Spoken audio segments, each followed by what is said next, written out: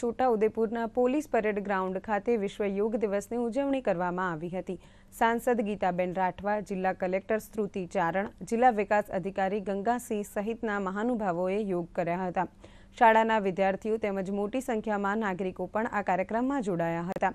આ અસ- આ અવસરે સુરતમાં યોજાયેલા રાજ્યકક્ષાના કાર્યક્રમનું જીવંત પ્રસારણ પણ કરવામાં આવ્યું હતું તો પીએમ મોદીનો વિડીયો સંદેશ પણ પ્રસારિત કરવામાં આવ્યો હતો સાંસદ ગીતાબેન રાઠવાએ યોગનું મહત્વ સમજાવી તમામને વિશ્વ યોગ દિવસની શુભેચ્છા પાઠવી હતી સંજ્ઞાના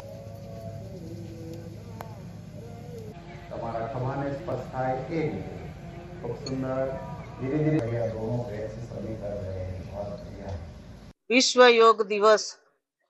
જ્યારે નરેન્દ્રભાઈ મોદી સાહેબે ઉજવવાનું નક્કી કર્યું ત્યારથી આજે નવ વર્ષ, આજે નવમો યોગ દિવસ ઉજવવામાં આવ્યો. ગુજરાત સરકાર દ્વારા સુરત ખાતે મોટી સંખ્યામાં ભાઈઓ બહેનોએ આ યોગમાં જ્યારે લાભ લીધો છે, ત્યારે ત્યાં ગિનિસ બુકમાં પણ આ વર્લ્ડ રેકોર્ડ નોંધાવા જઈ રહ્યો છે. હું તમામ જિલ્લાવાસીઓને યોગ દિવસની ખૂબ ખૂબ શુભેચ્છા પાઠવું છું.